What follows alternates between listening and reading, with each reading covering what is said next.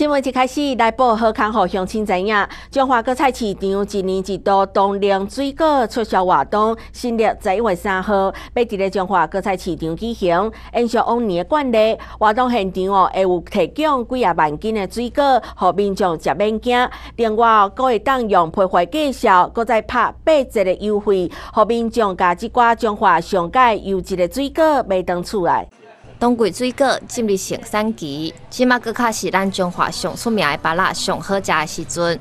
为着刺激买去兴销在地水果，中华县政府甲中华地理果菜文销合作社，连续往年举办农特产品嘉年华。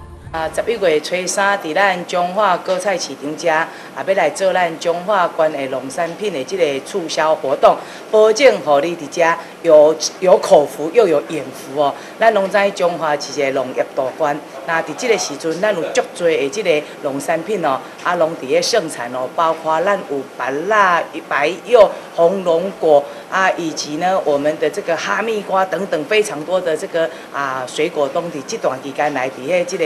盛产哦！主办单位指出，延续往年举办农特产品嘉年华的重头戏，就是现场有数万斤着实的水果，要互大家吃好饱。搁较会当用批发价，搁再拍八折，甲水果砸断去。啊，提供吼啊数万斤的水果，含所有乡亲拢食物件。啊，都有几万斤直接吼，促销以咱的批发价八折。哦啊，现政府这个德政啊，吼，咱咱。